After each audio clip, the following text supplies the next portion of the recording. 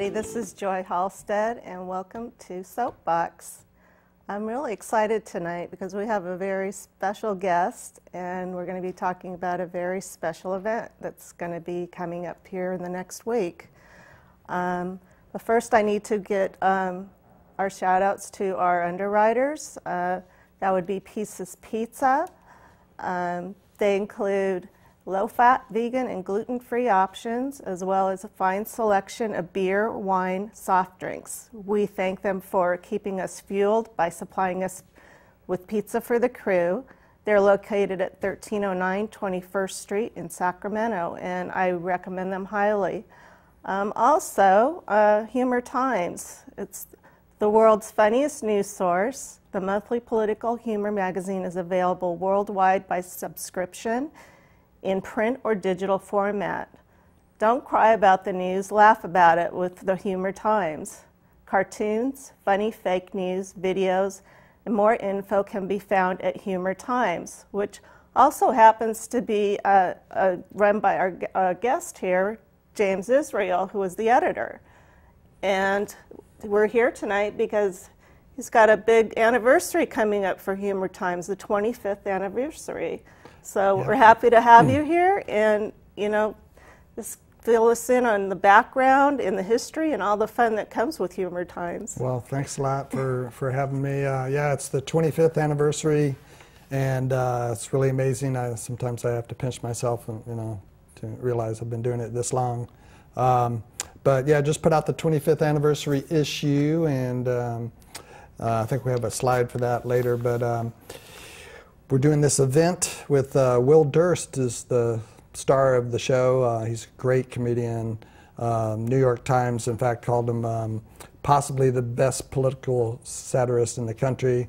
I think you should take the word possible out because uh, you know I've seen a lot of uh, political comedians, and he, he really is the best. He's been doing it his whole life. Uh, that's our anniversary celebration there. Uh, that's coming up just a couple days at uh, Laughs Unlimited. You can get advance tickets at humortimes.com. Actually, that'll give you the link to it.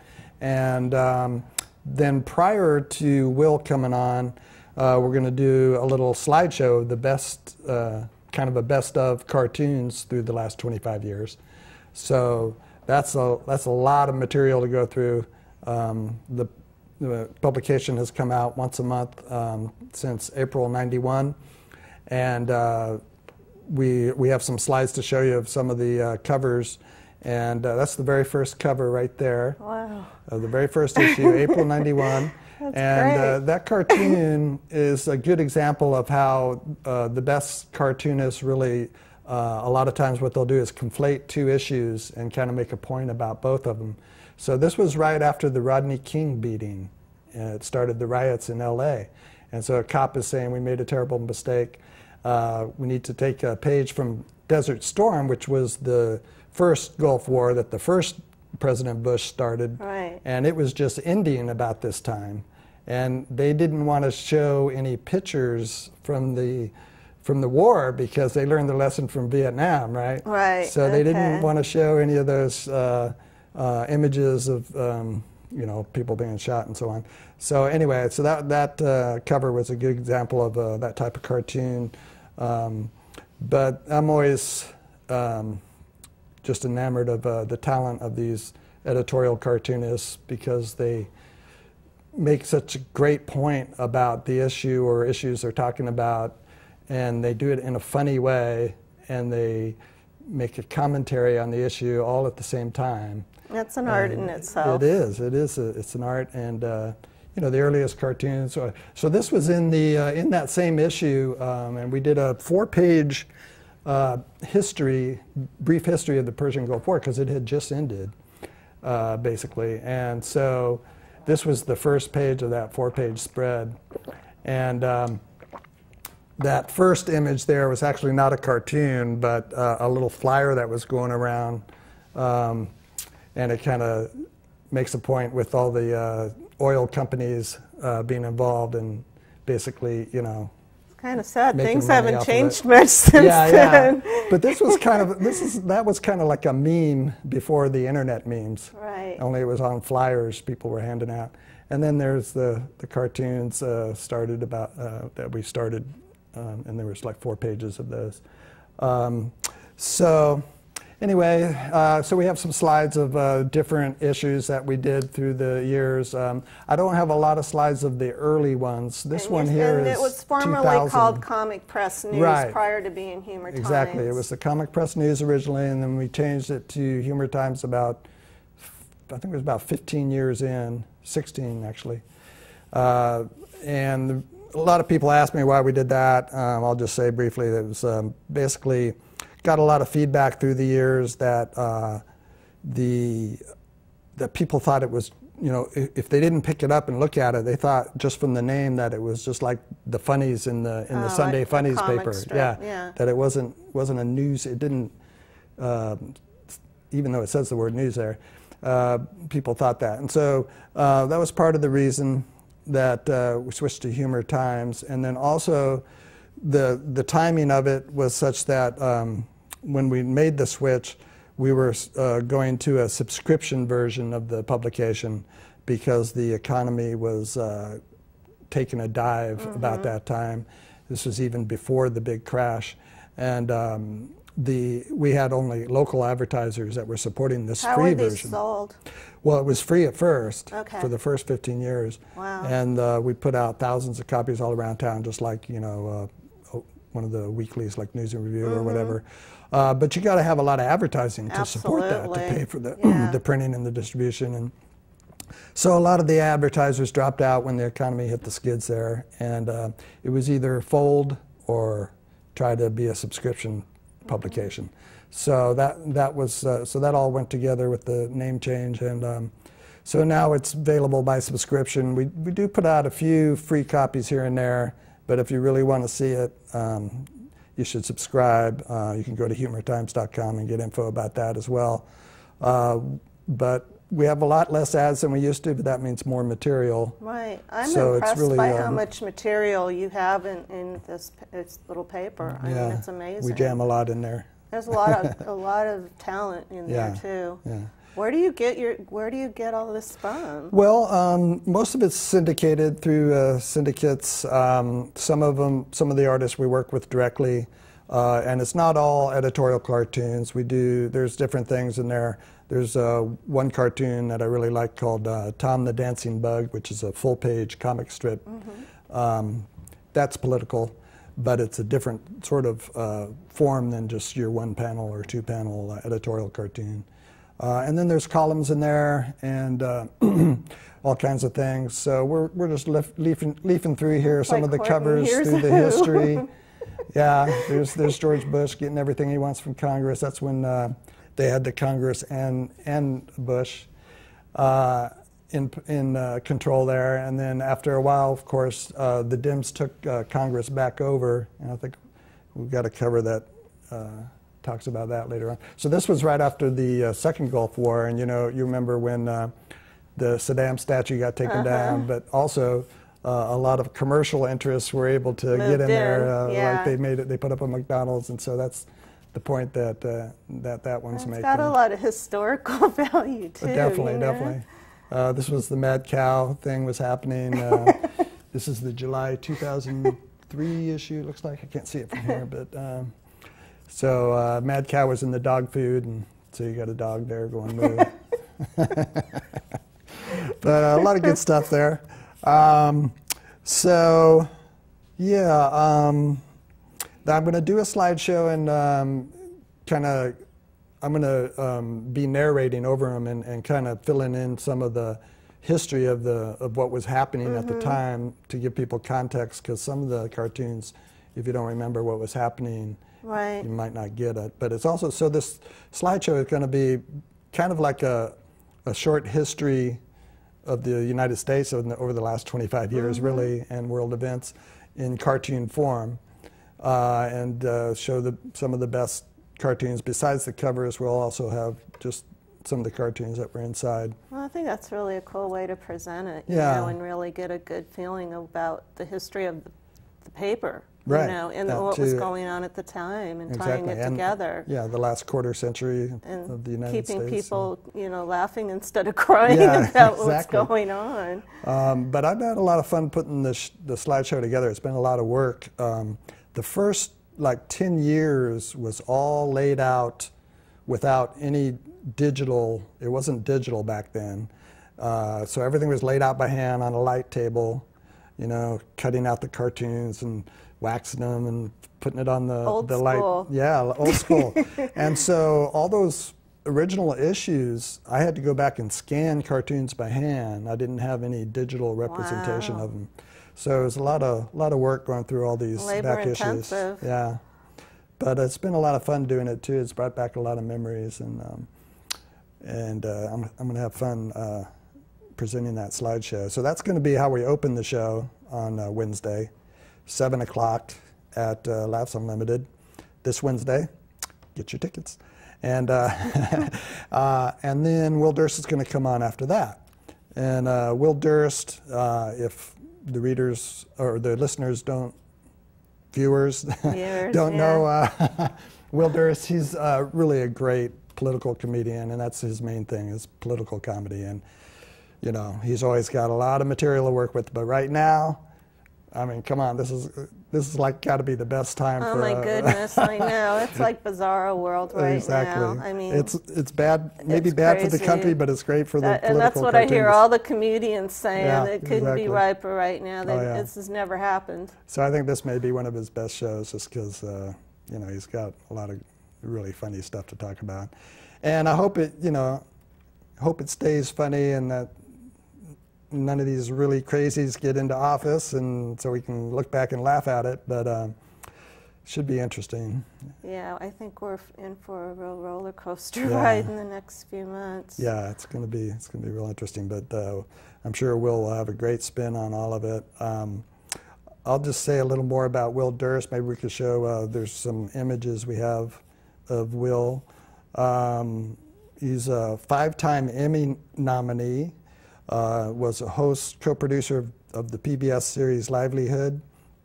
Uh, regular commentator on NPR, CNN, C-SPAN. He's appeared on television over 800 times, including Late Night with David Letterman. He's been on Comedy Central, HBO, Showtime. Uh, received seven consecutive nominations for the American Comedy Awards Stand-Up Comedian of the Year. Apparently, he never won any of them. In my case, in my opinion, he should have won at least a few of those. Um, he uh, premiered his one-man show, The All-American Sport of Bipartisan Bashing, at the New World Stages off-Broadway in New York City in 2007 to rave reviews from the New York Times and the Post.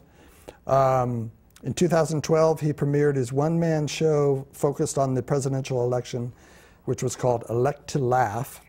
That ran for 41 weeks at the San Francisco Marsh Theater. He's from San Francisco.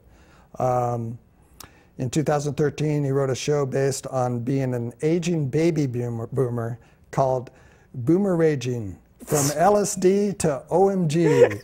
and uh, the Humor Times actually presented uh, that show in Sacramento uh, about two or three years ago at the Sierra 2. So that's the last time we presented him in, in uh, Sacramento. Uh, but we, we have had them at other events. In fact, um, we had them five years ago at the stage here at Access uh, TV. Um, there's a stage um, in the auditorium, and we had a, a big show, and uh, that was a uh, we celebrated our anniversary as well as Access TV, um, and it was our 20th and Access's 25th at the time. So we did a combined event. It was a lot of fun. Uh, we had uh, several entertainers on before Will Durst. But we're going to show you a couple clips here when they get it going um, of um, some of the event and, uh, and his performance there. Um, and uh, we've had him at other times as well. And, uh, Uh, it's, it's, it's good to be here. I love Sacramento. I could live here in a minute if it weren't for a little thing you call August, which now stretches from June till October. Uh, I live in, I don't live far away. We all know Sacramento is two hours from anything, and that includes me. I live in San Francisco, which is a lovely little burg, but it's not the real world. You know that. It's 49 square miles. It's like a 49 square mile circus without a tent. But there are pockets of Sacramento that are so idyllic. I mean, this place, there, you know, Norman Rockwell would come here and go, no. No, not buying it. I'm sorry. So that's that's one clip. We'll have a couple uh, others from that show, but uh, he's a lot of fun. Um, he uh, some of his other accomplishments, this guy has been doing so much in his career. Um, he had three shows on PBS. Uh, a couple of them he hosted and created called, uh, one was called The Durst Amendment, another one was called Citizen Durst. Um, let's see, he had a pilot called A Year's Worth with Will Durst. It was nominated for a Cable Ace Award uh, after airing on the A&E network. Uh, but uh, was never picked up. Uh, he writes a weekly syndicated political humor column, which has been in the Humor Times almost since the beginning, as well as other publications all around nationally, um, including, um, I think, the New York Post, uh, a lot of publications. He had uh, a show called The Will and Willie Show where he interviewed uh, Mayor Willie Brown oh on the radio, and that ran on KQKE for a long time. I think it's they still That's do podcasts of it. Blast from the past. Yeah, yeah, and uh, and then he's also one of three stand-up comedians featured in a movie that just came out in 2014 called Three Still Standing, and uh, they're three comedians uh, besides Will and two others that uh, have uh, been performing in, in uh, San Francisco all these years, and it goes back and shows uh, a lot of their old ones. And um, uh, I guess we got another clip we can show you here from the from the show, not from the movie, but from the show that he ran, uh, that he was at. And of course, we have a new governor. Uh, Jerry Brown was governor when he was 36. He's now 72. So apparently, we're going to have to go through this every 36 years. He'll be 108, just a head in a jar in the year 2046, running again on the platform of experience. I'm just glad that the election is over because it lasted for so long. I mean, Meg spent so much money, and all the ads look exactly alike. I was in Chicago I was working a club in Chicago for the two weeks, the week before their mayoral election and the week of their mayoral election. It was uh, late uh, February, and it was great. Uh, I got to vote because it's Chicago, you know. Uh, six times, I spread it around, you know, didn't want to favor anybody. And they had the same ads that we suffered through all last year. It's, it's like it's like it's a cookie that everybody passes around. There's a template. What you do is you find a black and white still of the opponent that you want to denigrate, and it's best to catch them in either a compromising position or, or maybe caught in the middle of a sneeze like that, or, or stumbling downstairs. And then you get this guy with this incredibly deep voice. Uh, it's known as the doomsday voice from NFL films, John Facenda, like that. They came to Lambeau Field. And, and you get that guy, Jerry Brown. Loser, failure, shot a man in Reno just to watch him die. and of course, he has to respond in kind. Meg Whitman. Greedy, harpy, hoe. Actually, no, he didn't call her a hoe. His wife did. no, um, but, you know, it came right after the housekeeper thing, so she was in said, he caught me out. we could have done a better job with the banner there at that event. you see a little curly in falling You're having a little too much fun, I guess. Uh, but that was a lot of fun, and, and uh, this show Wednesday at Laughs Unlimited is going to be great too. Uh, I just can't wait to see Will again. He's he's a really good guy. Um, we hang out. Um, you know, if you if you go to the show, uh, hang out a little bit afterwards. He he always likes to hang out with people and um, very personable, uh, friendly guy. It'd be Smart interesting guy. to see what his take is on our, our current Yeah. situation in Oh, yeah. politics. I I'm mean, sure he's going to have a lot to say about the uh, the presidential run on, on both sides. I'm sure, but um, it's going to be very entertaining for sure. So back to Humor Times. Um, Yeah. I'm interested in some of the artists and the comics that are involved in it. Yeah, um, you know we've we've changed through the years. We've used different cartoonists. A lot of that has to do with uh, who's available. Sometimes, like when we started out, being a local Sacramento free distrib- distributed paper, um, there's rules you have to follow. Like um, if other publications already have a cartoonist, they, you know, for that area, you can't use them.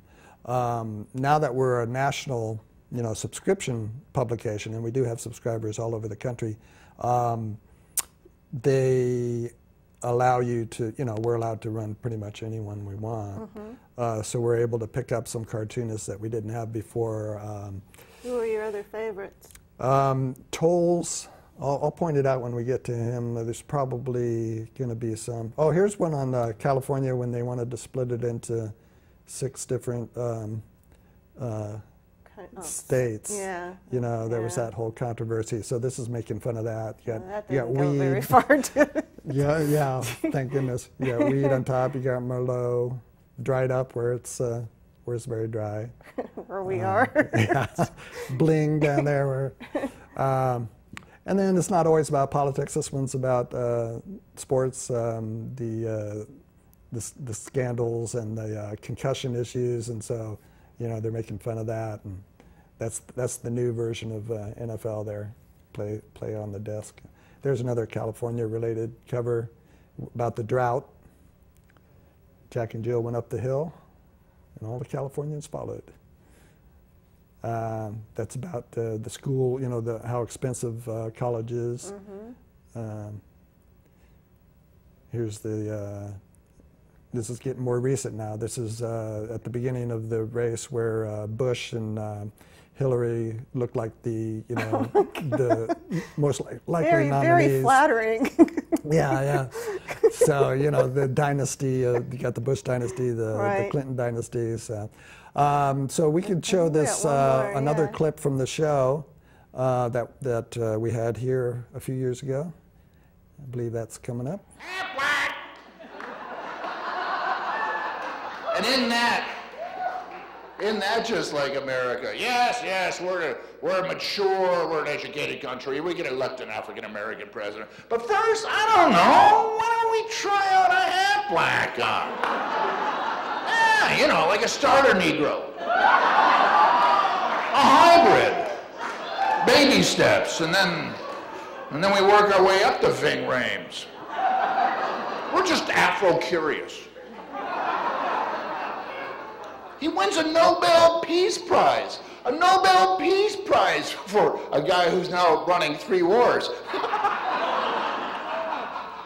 but the outcry from the right, oh, he doesn't deserve the prize. It was like he was caught naked under a goat at a junkie hookers for Satan convention.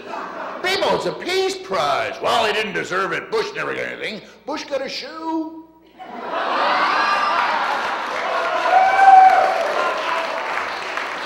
Got two shoes. Deserved them both, too. I'll give him that. George W. and his, uh, they just broke ground at uh, Southern Methodist University, picked because it's easy to spell, SMU. Uh, Yeah, so little uh, little preview there.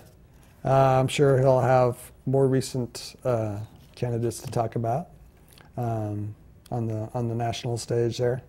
Uh, it's going to be a blast. Can't wait. Um, really looking forward to it. And um, oh, you can get tickets to the event right there at uh, humortimes.com. Uh, if you go there, there's a little banner right at the top of the web page on the right that you click on that and uh, it'll get you to it. And you can buy tickets at the door and You can buy them at the door as well. Uh, you can also get them uh, if you don't like to do the online thing uh, right there at Laughs Unlimited in Old Town Sac. Um, and it's 20 in advance, so save a few bucks. Um, so hope to see you there. It's going to be a lot of fun and um, looking forward to it. Just two days from and now. then I got to keep a lookout for you're also hosting Soapbox as well. So Yeah. we'll be seeing you here. That's right. I've been in your chair uh, a couple times And we're now. very happy to a lot of have you here. Yeah, it's been it's been great. Um, yeah, it's like a new career, huh? it is. Yeah.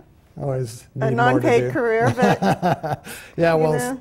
Sometimes the humor times is uh, seems unpaid too. It's, Yeah. it's not exactly uh, making me rich, but uh, it's been a labor of love for 25 years, and um, hope to, you know, if I can't do it another 25, pass it, pass the torch on to someone who will. Uh, it's become basically an institution in uh, Sacramento now, and um, you know, I, I have the the readers to thank for that, uh, all the support through the well, years. you're not going anywhere any Yeah. anytime soon. There's so some more covers there. Uh, that was uh, these are getting more recent now. This was uh, when the debates just started and uh, everyone was kind of uh, attacking Trump on on stage there. So so this is how the cartoonist represented it. He's on the top of the uh, state building there as King Kong. Uh, I really love that, that cartoon in particular. It's very funny.